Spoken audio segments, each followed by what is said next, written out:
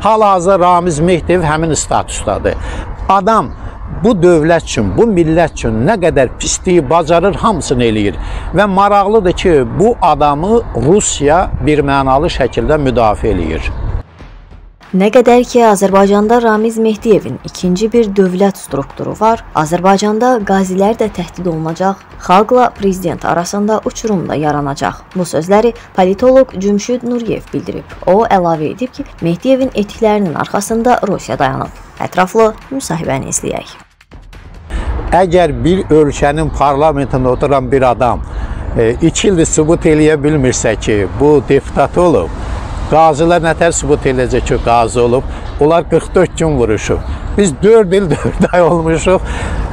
Yəni arımdan gülürəm. Yəni biabırçılıqdır. Mən artıq yoruldum bunlara sübut eləməkdən. Ya bunlarda, yəni deyir İmam üçün ağlarında Yezid çanı. Bəli, bunlar üçün siyasi sifariş var. Bu siyasi sifarişin arxasında bir mənalı şəkildə, yəni niyə qorxuruq? Ramiz Mehdiyev durur.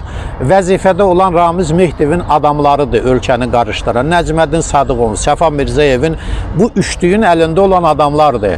İndi bunlar Səfa Mirzəyev bir məktubla Konstitusiya məhkəməsinin hüququn üzərinə götürüb adama 308-ci maddənin cinayət işi açılmaq əvəzinə onu göndərdilər istirahətə. Eyni şey Nəcməddin Sadıqova aiddir. Eyni şey Ramiz Mehdiyeva aiddir. Adam hər yeri qarışdırdı. Adam bu dövlət üçün, bu millət üçün nə qədər pisliyi bacarır, hamısını eləyir.